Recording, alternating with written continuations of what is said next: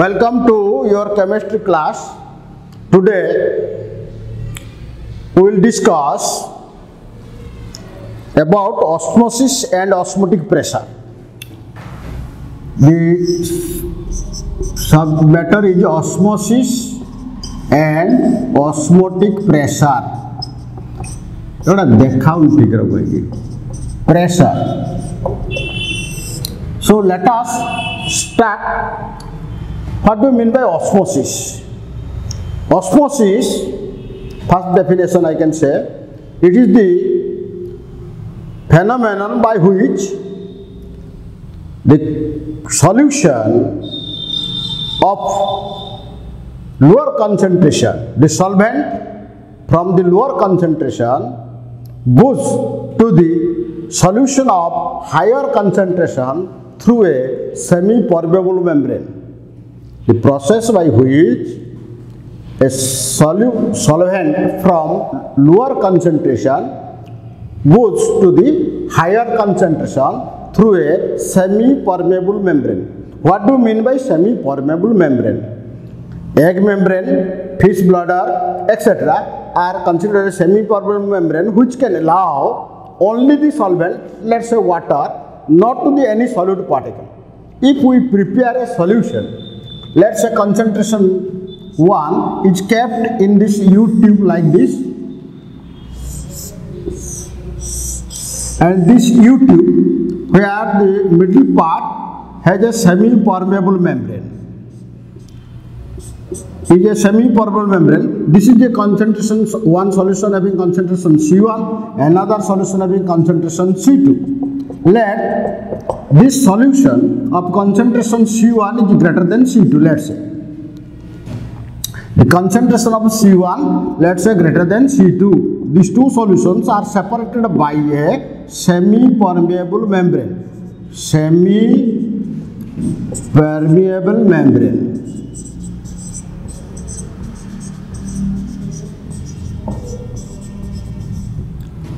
This membrane only allows the solvent molecule solvent from the lower concentration to the higher concentration until these two solutions tend to be same concentration.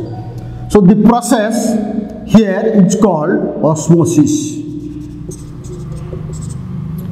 If there is no semi-permeable membrane, if there is no semi-permeable membrane, when the concentration C1 is here, the concentration C2 is here, where C1 is greater than C2, then we see the solute particle from this concentration, higher concentration, will go to the lower concentration to equalize the concentration of the two solutions.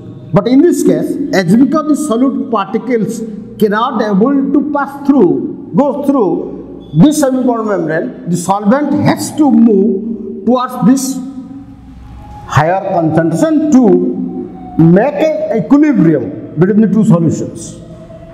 This is the process. But if there is no semi-permeable membrane, then that is called your diffusion. In this case, let's say this is a very salty solution. This is only water, let's say. When the very salty solution is there, and water is poured in this side salty solution. If you pour in this side the water then you automatically see after some time these two solutions having same salty taste.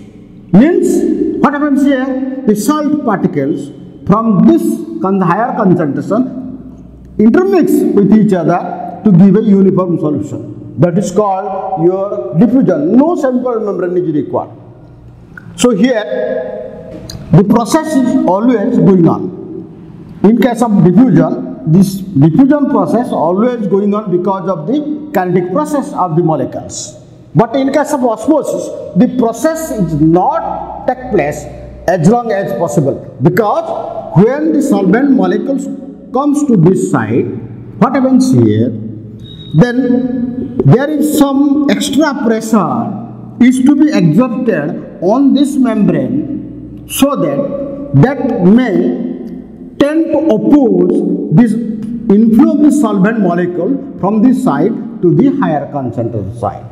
So an extra pressure is to be exerted on this semi-permeable membrane. that extra pressure which exert on the semi-permeable membrane in order to check the inflow of the solvent molecule towards this higher concentration side is called osmotic pressure. That is called we denote as pi osmotic pressure. So then what is osmotic pressure? You know the process will continue till an extra pre- extra pressure is exerted on the central membrane from the solution side to check the inflow of the solvent molecule. This is what is called osmotic pressure. And here we have to discuss The osmosis process or the phenomena you merely observe in day to day life. যে তোমার পিলা জানিছ? যদি আমি মটর দানা, শুকলা মটর দানা পানিরে পকাইবা সকালে আমি মটর ঝোল ঘুগুনি করে খাইবা তো রাতির পানিরে পড়ুছি সকালে সেটা বড় বড় হয়ে যাচ্ছে that is due to osmosis because water molecule penetrate into that seed or the piece into the seed of the piece so that it will swell up. The dried up fruits swells up due to osmosis. And you can easily experiment to that is when two eggs are taken let's say we are considering two eggs. Unboiled egg, uh, eggs, you first remove the hard covering by dipping into diluted shell because the hard covering you know the composition is calcium carbonate. When it is dipped into the HCl solution, what happens there? The hard cover of the egg removed automatically by the HCl, concentrated HCl or diluted HCl even. Then you see one cover is there, one membrane is there, egg membrane. And that egg, you make this type of preparation, two eggs. One egg let you put in water, one egg you put in water, and another egg you may put in the very salty solution, salty solution, very salt, salt solution, concentrated salt solution. What, what you observe?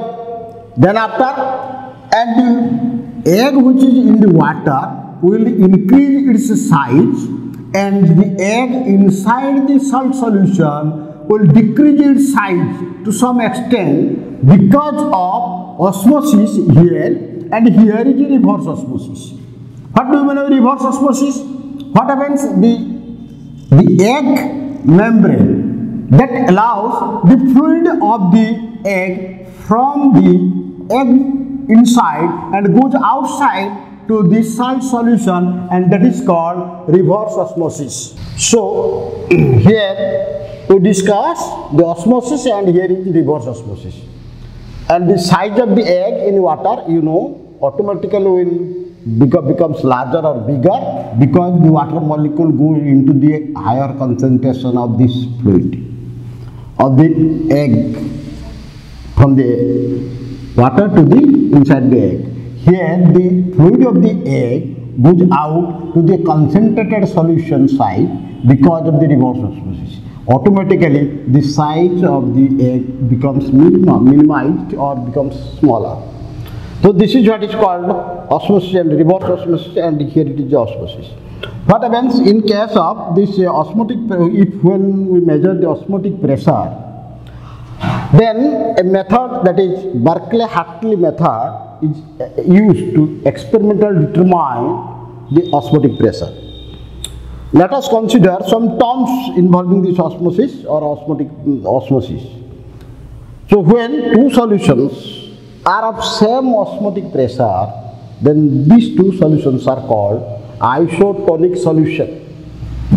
Isotonic isotonic solution means having same osmotic pressure means pi 1 is equal to pi 2 and in case of hypertonic solution hypertonic solution the the osmotic pressure if the first solution is greater than that of second solution then this first solution is said to be hypotonic and the second solution is said to be second solution is said to be hypotonic hypotonic solution. These are some terms involved in this. Depending on the magnitude of osmotic pressure osmotic pressure the solutions can be categorized as isotonic solution hypotonic solution hypotonic solution. So now let's discuss about this osmotic pressure. And this osmotic pressure is a colligative property. Means the osmotic pressure depends on the concentration of the solution solute particles or the solution concentration of the solution or solute particles or the number of solute particles present in the higher concentration site that that is the colligative property you know. Colligative property is the property which depends on the number of solute particles present in the solution. So here this osmotic pressure again depends on concentration and temperature. This can be correlated by uh, Van't Hoff theory. And in this Hoff theory he, consider, he considered the osmotic pressure of a very dilute solution and when we are considering a very dilute solution then that is taken as an ideal solution. When the solution is ideal, the ideal gas law may be applied and that can applied in this case by Van't considering two laws, one is Boyle-Van't law, another is Charles-Van't law. Let us consider what we mean by Boyle-Van't law. In Boyle's law similar to Boyle's law you know in case of Boyle's law what you know you know the pressure and volume are inversely proportional in this case also Boyle Van't Hoff law Boyle Van't Hoff law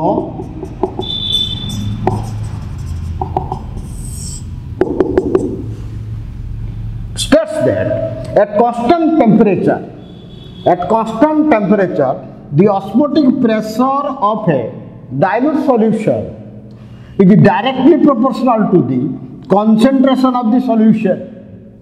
If concentration of the solution is high, then osmotic pressure becomes very high.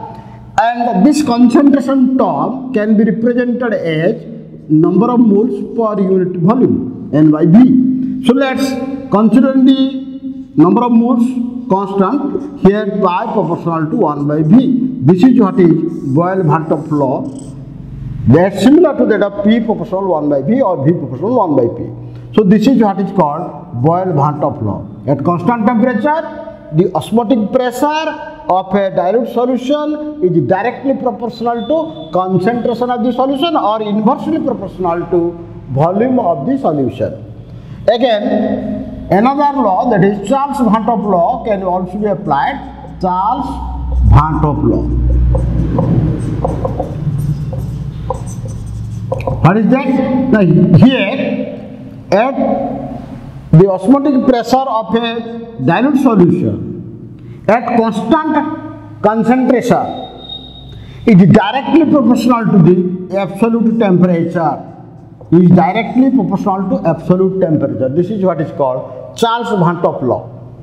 The osmotic pressure of a dilute solution at constant concentration is directly proportional to temperature. Means when temperature of the solution becomes high, more and more solvent molecule can flow to the solution sites and giving rise to more osmotic pressure. And by considering the both laws, the Hoff law, Law of dilutes Van't Hoff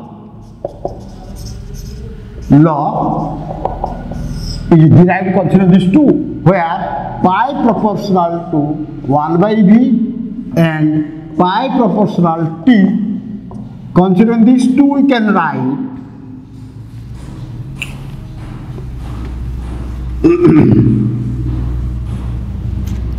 pi proportional t by v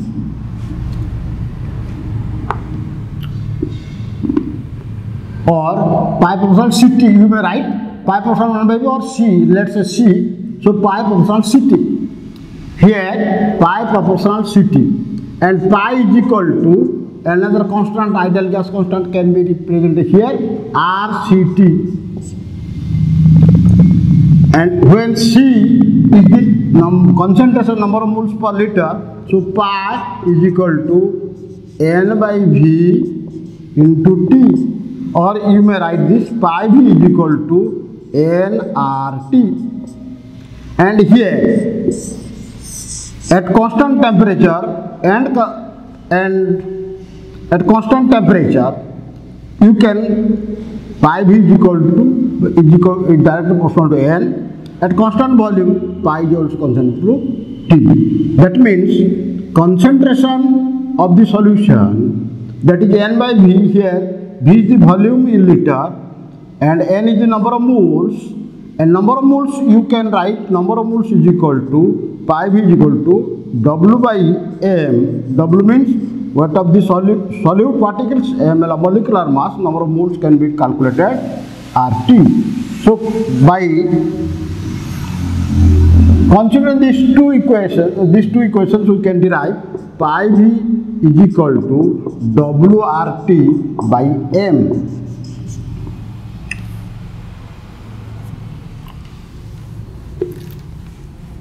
And here as because pi v is equal to nrt from this we can calculate this one. And here pi means osmotic pressure depends on number of moles of the solute particles. That means it is a colligative property. Osmotic pressure at constant temperature you can say is directly proportional number of moles means osmotic pressure is a colligative property for a dilute solution. And from this we can determine molecular mass of the solute. Here the molecular mass you can easily derive m is equal to WRT by pi v. m is the molecular mass, W is the weight of the solute particles, R is the gas constant, T the temperature in absolute scale, pi is the osmotic pressure, V is equal to volume of the solution in liter. These are the some important derivations and you can determine molecular mass from the osmotic pressure data by help of the formula m is equal to WRT by pi v. So this is about the osmotic pressure and its correlation with the uh, colligative property and how to determine the molecular mass from this. Next class we will discuss about the abnormal colligative property of the dilute solutions. Let's stop and we will discuss in the next class. Thank you.